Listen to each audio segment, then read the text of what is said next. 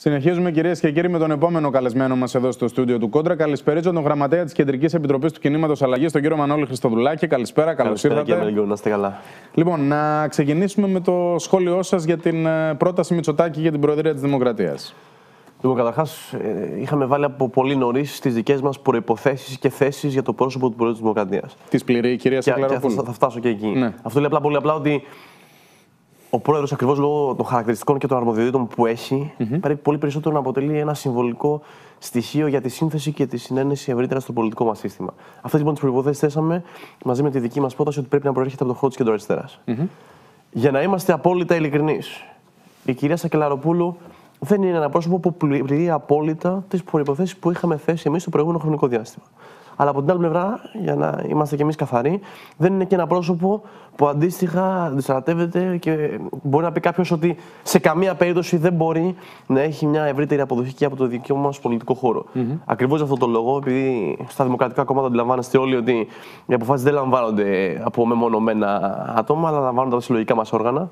Αύριο στις 3 ώρε συνεδριάζει από κοινού το Εκτελεστικό Πολιτικό Συμβούλιο του Κινήματος Αλλαγής μαζί με την κοινοβουλευτική ομάδα, όπου ακριβώς θα πάρουν μια ξεκάθαρη θέση για το πώς θα κινηθούμε το επόμενο χρονικό διάστημα με βάση την πρόταση που έκανε ο Πρωθυπουργός σήμερα. Mm-hmm.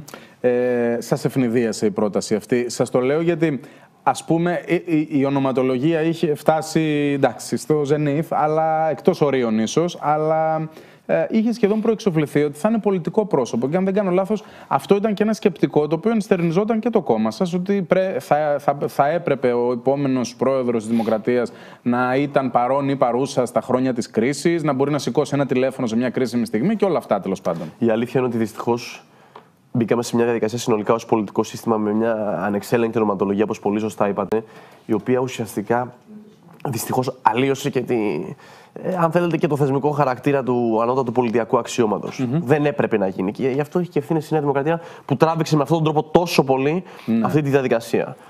Το αν ευνηδιαστήκαμε ή όχι, δεν θα λέω ότι ευνηδιαστήκαμε ακριβώς γιατί ποτέ δεν μπήκαμε στη λογική Α, μάλλον θα είναι πολιτικό πρόσωπο, Α, μάλλον δεν θα είναι, μάλλον θα είναι γυναίκα, μάλλον δεν θα είναι. Ναι. Εμείς βάλαμε το δικό μας πλαίσιο mm-hmm. και περιμέναμε την πρόταση του Πρωθυπουργού. Και είχαμε πει ξεκάθαρα ότι αν είναι ένα πλαίσιο το οποίο δεν μας καλύπτει mm-hmm. πολιτικά, θα έχουμε τη δική μας πολιτική αντιπρόταση. Αν θέλετε τη γνώμη μου, για μένα θετικό είναι που είναι γυναίκα. Είναι ένα πρόσωπο που κανείς δεν έχει να προσάψει τίποτα mm-hmm. ε, πολιτικά, για να είμαστε ανοιχτοί. Ναι. Έχει συγκεκριμένες πολιτικές ε, αναφορές, όχι έκδηλες, αλλά με βάση το, την, τη μη πολιτική της μάλλον ε, διαδρομή. Από εκεί πέρα ξαναλέω θα το δούμε αύριο σε ένα σκεπτικό το οποίο για μένα λέει ότι προφανώς και τέτοιες ε, επιλογές mm-hmm. μπορούν να έχουν πιθανώς μια θετική προδιάθεση, αλλά θα την αξιολογήσουμε αυτήν εν καιρό. Κύριε Χριστοδουλάκη, λέτε και δηλαδή συμφωνούμε ότι η ονοματολογία είχε ξεφύγει από τα όρια, αλλά σε αυτό δεν έχει ευθύνη και η κυρία Γεννηματά. Δύο-τρεις μήνες πριν τελειώσει η θητεία του κυρίου Παυλόπουλου, είχε αρχίσει να λέει ότι εμείς προτείνουμε Σιμίτη, Παπαντρέου ή Βενιζέλο. Δεν έγινε ακριβώς έτσι. Δεν έγινε ακριβώς έτσι ότι η επιλογή αυτή είναι για τον εξής λόγο. Mm-hmm. Υπήρχαν οι μισοί που λέγανε Α, τι καλά που θα ήταν να προτείναμε τον Βενιζέλο, όταν λέει μισή εκτός της παράταξής μας. Ναι. Α, οι άλλοι μισή εκτός της παράταξής μας επίσης. Τι καλά που θα ήταν. Εκτός της παράταξής σας. Σας Όχι, δεν είναι. Όχι, όχι, δεν είναι. Δεν είναι. Τι καλά που θα ήταν να προτείναμε τον κύριο Παπανδρέου. Mm-hmm. Και έμπαινε σε μια λογική η πολιτική κοινή γνώμη, στοχευμένα όμως προβοκατόρικα, να κάνει μια αλίευση ψήφων από το χώρο της κεντροαριστεράς ή συσχετισμών με βάση την προεδρολογία για υποτιθέμενα ονόματα που δεν υπήρχαν καν στο ναι. τραπέζι. Αυτή την κουβέντα ήθελε να κλείσει η κυρία Γεννηματά λέγοντας πολύ απλά ότι οι τρεις πρώην πρόεδροι του Πασόκ προφανώς mm-hmm. και πληρούν τις προποθέσει για το αξίωμα αυτό, όπως φυσικά και πάρα πολλοί άλλοι ακόμα και εκεί τελείωνε η ιστορία αυτή. Από εκεί πέρα, σε όλες μας τις τοποθετήσεις ήμασταν πάρα πολύ προσεκτικοί ακριβώς για αυτό που είπαμε και πριν. Ναι. Το να μην μπαίνουμε εμείς στη λογική αν είναι καλός ο ένας, αν δεν είναι καλός ο άλλος. Ε, ναι, εντάξει, θα μπορούσε να ήταν αυτός, αν δεν θα μπορούσε να ήταν αυτός. Όχι, δεν μπαίναμε σε αυτή τη λογική. Περιμέναμε ακριβώς γιατί δεν θέλαμε να συνεισφέρουμε κι εμείς σε όλη αυτή την προεδρολογία που δυστυχώς, όπως είπαμε και πριν, αλλοιώνει και την ποιότητα mm-hmm. και τη θεσμική υπόσταση του, του αξιώματος του Πρόεδρου της Δημοκρατίας.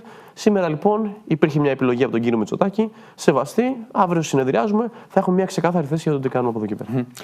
Ε, τώρα, στη Βουλή έχει αρχίσει η συζήτηση για τον εκλογικό νόμο. Ε, σας κατηγορούν ότι ενώ η δική σας πρόταση πρόταση με την πρόταση που κατέβασε ο κύριος Στοδωρικάκος είναι σχετικά πολλά, είναι σχετικά κοντά και ότι σας χωρίζουν 5-6-7 έδρες στο μπόνους, ότι προσχηματικά δεν την ψηφίζετε για να μην δείξετε ότι τάσσεστε με το μπλοκ της Νέας Δημοκρατίας ή ότι τέλος πάντων παίζετε το παιχνίδι του Μητσοτάκη. Τι απαντάτε σε αυτό; Εγώ δεν καταλαβαίνω τι κοινό έχει η πρότασή μας με την πρόταση που έφερε ο κύριος Μητσοτάκης και το λέω αυτό γιατί, OK, okay, αλλάζει ο τρόπος του μπόνους Ναι. με το ίδιο μπόνους. Να μιλήσουμε απλά. Για μένα, η πρόταση που έφερε η Νέα Δημοκρατία για τον εκλογικό νόμο είναι μια κοροϊδία. Γιατί; Και το λέω αυτό γιατί ακριβώς μας μιλάγανε για μια μεταρρύθμιση που θα άλλαζε την αντίληψη περί πολιτικού συστήματος και των ευρύτερων συνενέσεων και συνεργασιών, η οποία έρχεται με άλλον τρόπο υπολογισμού, με ακριβώς το ίδιο μπόνους. Αλλά επιτρέψτε μου κάτι σημαντικό. Δεν είναι μόνο θέμα αριθμητικό. Υπάρχει μια τεράστια αριθμητική διαφορά που αφορά όχι μόνο το ανώτατο όριο και το βήμα στο οποίο ο καθένας παίρνει μία έδρα μπόνους. Άλλο να το παίρνει σε μία μονάδα, άλλο στη μισή, γιατί αλλάζει το όριο που παίρνει το άνωτατο. Αλλά υπάρχει και ένα θέμα ουσίας. Τι λέει το θέμα ουσίας; Η δική μας πρόταση είχε δύο πολιτικά χαρακτηριστικά πέραν των αριθμών. Οι αριθμοί απλά αποτύπωσαν αυτά τα χαρακτηριστικά. Ναι. Λέει ότι ναι, είναι προφανές ότι το εκλογικό μας σύστημα πρέπει να δίνει εχέγγυα πολιτικής σταθερότητας και γι' αυτό, αν και η απλή αναλογική προφανώς και ήταν βάση συζήτησης, ειδικά για τον προοδευτικό χώρο, ως εκλογικό σύστημα, ειδικά στην παρούσα πολιτική συγκυρία μέσα στην κρίση και με πολιτικές δυνάμεις που απέδειξαν ότι δεν αναλαμβάνουν πολιτικό κόστος στην εθνική προσπάθεια στα δύσκολα, ήταν προφανές ότι πρέπει να υπήρχαν ευρύτερα και ισχυρότερα χέρια πολιτικής σταθερότητας. Από την άλλη όμως, Ναι. ήταν αντίστοιχα προφανές για εμάς ότι έπρεπε να υπάρχει μια δημοκρατικότερη αποτύπωση των κοινωνικών συσχετισμών στο μείγμα της εφαρμοζόμενης πολιτικής. Αυτά τα δύο συνθέτει η δική μας πρόταση, η οποία λέει τι λέει, ότι αν υπάρχει ένα μεγάλο ποσοστό της τάξης του 40%, Ναι. εγώ αντιλαμβάνομαι ότι ναι, πρέπει να προκύψει αυτοδύναμη κυβέρνηση. Να προκύψει. Και το διασφαλίζει αυτό η πρότασή μας.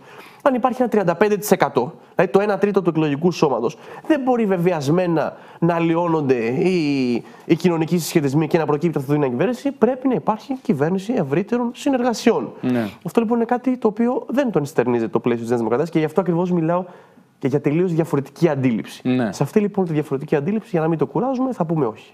Πάντως, επίσης, για να μην το κουράζουμε, το σύστημα που αναγκάζει τους πάντες να βάλουν νερό στο κρασί τους και να συνεργαστούν είναι απλή αναλογική και την απορρίπτεται. Κοιτάξτε, να- έχει μια παράμετρο αυτή. Ναι. Ο ΣΥΡΙΖΑ ήρθε πριν τις εκλογές, ο οποίος πρότεινε την απλή αναλογική και μας είπε ότι παιδιά, εγώ μετά δεν συνεργάζομαι με κανέναν. Και ρωτάω εγώ, πώς μπορούμε να μιλάμε για την απέτηση ευρύτερων συνενέσεων που το σύστημα της απλής αναλογικής επιβάλλει να υπάρχουν στο πολιτικό μας συστημα και αυτός που έφερε την απλή αναλογική με την απέτηση των ευρύτερων συνενέσεων μας έλεγε ότι δεν συνεργάζεται με κανέναν. Εγώ εκεί βλέπω μια αντίφαση. Ναι. Και ακριβώς λόγω αυτής της αντίφασης που δεν την είδαμε μόνο τον ιουλιο την είδαμε την αντίφαση μέσα σε όλη την κρίση. Υπήρχε μια κρίση την οποία εμείς παραλάβαμε με 15,6% έλλειμμα από την κυβέρνηση Καραμαλή. Σηκώσαμε μόνοι μας το πολιτικό βάρος για τη Νέα Δημοκρατία, έφτιαχνε τα ζάπια τότε για να γίνει ο Σαμαράς πρωθυπουργός. Και ο ΣΥΡΙΖΑ έχτιζε τις πλατείες παρέα με τη Χρυσή Αυγή για να γίνει ο Τσίπρας μετά από τον Σαμαρά ο ίδιος πρωθυπουργός. Απέδειξαν λοιπόν ότι δεν είναι διατεθειμένοι Είναι να αυτή η μπουν σε πορεία λογική έτσι, ευρύτερων τόσο απλό. συνενέσεων. Δηλαδή, ο κύριος Παπανδρέου δεν έπεσε μέσα από το κόμμα του. Μισό Ο λεπτό, Τσίπρας τον κύριε έριξε τον Γιώργο. Παπανδρέου ή ο Σαμαρά με τα ζάπια; Ε, Πιστεύετε δηλαδή Δεν ότι, ανετράπη. ότι αν τότε που το Πασόκ έπαιρνε μόνο του τις δύσκολες γιατί ήταν αναγκαίες, όχι γιατί ήθελε να τις πάρει, για μια κρίση που κληρονόμησε και δεν δημιούργησε τουλάχιστον σε πλειοψηφικό βαθμό στη μεταπολίτευση Ε, το κυβερνούσε ίδιο 20 το τόσα Πασόκ. χρόνια. Λέω, τουλάχιστον σε πλειοψηφικό βαθμό είχαμε Ναι. πολύ μικρότερο μερίδιο στην κριση από ότι αυτοί που παρέδωσαν έλλειμμα 15%. Ναι. Μην τρελαθούμε τώρα. Ειδικά 10 χρόνια μετά να καταλαβαίνουμε ότι η κρίση έφερε το μνημόνιο και όχι το μνημόνιο την κρίση. Όχι, τουλάχιστον να παραλάβατε συμφωνούμε σε βόμβα αυτό. στα χέρια σας, δεν Ακριβώς, υπάρχει αμβολία. ακριβώς. Δεν Αν λέμε- λοιπόν τότε οι πολιτικές δυνάμεις Ναι. υπεύθυνα, ξέρετε με αυτή την ωραία ρητορική που χρησιμοποιούν όλοι σήμερα περί συνενέσεων, συνθέσεων και όλα αυτά, Ναι. είχαν μπει στο τραπεζι και σηκώνανε και αυτοί ένα μέρος από το κόστος. Αντί ο ένας να φτιάχνει το ζάπιο 1, 2, 3 να μιλάει για δίθεν άλλους δρόμους και οι άλλοι να στείλουν κρεμάλες στο Σύνταγμα, η Ελλάδα θα έχει βγει από την κρίση από το 12 και σήμερα το 20 θα μιλάγαμε για μια, μια τελείως διαφορετική χώρα. Αυτό δυστυχώς δεν έγινε. Ο καθένας θα αναλαμβάνει τις ευθύνες του. Εδώ θα είμαστε, ο ιστορικός του μέλλοντος θα καταγράψει. Αλλά το θέμα είναι και το πώς τοποθετούμαστε σήμερα στο πολιτικό μας σύστημα. Και ακριβώς επειδή αυτό αφορά και το χαρακτήρα των συνενέσεων που θέλουμε, Ναι. εμείς έχουμε αποδείξει σε όλα τα κρίσιμα ζητήματα και της, του τελευταίου εξαμήνου, αλλά και συνολικότερα, ότι όποτε είναι για το καλό της χώρας μας. Είτε Ναι. λέγεται εθνικά θέματα, είτε λέγεται προ-δημοκρατία σε περίπτωση που αυτό είναι θεμητό σε σχέση με την απόφαση που λήφθη, είτε λέγεται ψήφος των αποδήμων, είτε λέγεται οποιοδήποτε άλλο πλαίσιο Ναι. μπορεί να έχει χαρακτηριστικά προοδευτικά και να στηρίζει μια καλύτερη θέση για τη χώρα, την κοινωνία και ειδικα για τη νέα γενιά της χώρας μας, ναι, θα είμαστε εκεί να το κάνουμε. Μακάρι να υπήρχε από τη μεριά της κυβέρνησης μια πρόταση εκλογικού νόμου Ναι. που να μας έδινε την ευκαιρία κι εμείς να λειτουργούσαμε συνθετικά, αλλά ξαναλέω με συγκεκριμένα πολιτικά χαρακτηριστικά. Επελέγει από τον κύριο Μητσοτάκη, όπως και σε πάρα πολλά άλλα θέματα, η λογική του πάω μόνος μου και παίζω το χαρτί μου, γιατί αυτό έχει και άλλες αναγνώσεις στο μέλλον για το τι γίνεται με τις εκλογές τη πρώτη με απλή αναλογική, πώς θα φέρει πιθανώς δεύτερες, Ποιος θα μιλάει τότε για πολιτική σταθερότητα στη χώρα, γιατί κάποτε λέγανε δεν μπορούμε να ξαναπάμε σε εκλογές, γιατί η χώρα βρίσκεται σε κρίση, η οικονομία βρίσκεται σε, ε, σε αστάθεια. Τι θα κάνουμε, μπορεί να, να δούμε τι θα πει ο καθένας λοιπόν από όλα αυτά. Μπορεί να προκύψει η κυβέρνηση μετά τις πρώτες εκλογές με απλή αναλογική, ή θεωρείται αναγκαστικό το να πάμε σε δεύτερη; Εγώ ίσα ίσα δεν αντιλαμβάνομαι για ποιο λόγο δύο εκλογικές αναμετρήσει προκυρήσονται εντός εισαγωγικών με τη μία. Mm-hmm. Πρώτα προκυρήσεται η πρώτη εκλογική αναμέτρηση. Σας ρωτώ γιατί αν δεν μπει το κόμμα ναι, σε ναι. αυτές τις συζητήσεις δεν θα προκύψει Εγώ λέω ξεκάθαρα. Λέω ξεκάθαρα, λέω ξεκάθαρα. Ναι. Πρώτα προκυρήσονται οι πρώτες εκλογές ναι. που φαίνεται ότι θα είναι με απλή αναλογική. Γίνονται όλες οι απαιτούμενες διαδικασίες mm-hmm. και αν δεν προκύψει η κυβέρνηση, προκυρήσονται δεύτερες εκλογές. Ούτε πακέτα υπάρχουν, ούτε τίποτα. Και εμείς, επειδή είμαστε πολιτικά υπεύθυνος χώρος και στο ένα εκλογικό σύστημα και στο άλλο, θα είμαστε παρόντες με το δικό μας πρόγραμμα φυσικά, με το δικό μας πλαίσιο, αλλά να αξιολογήσουμε την εντολή του ελληνικού λαού και εμείς τις ευθύνες μας είμαστε διατεθειμένοι να τις αναλάβουμε. Όπως κάναμε πάντα. Ε, βγάλατε την είδηση στο τέλος. Κύριε Χριστοδουλάκη, επειδή ξέρω ότι ήταν και πολύ δύσκολη μέρα για εσάς, να σας ευχαριστήσω θερμά που ήσασταν εδώ και κάναμε αυτή την κουβέντα. Να είστε καλά.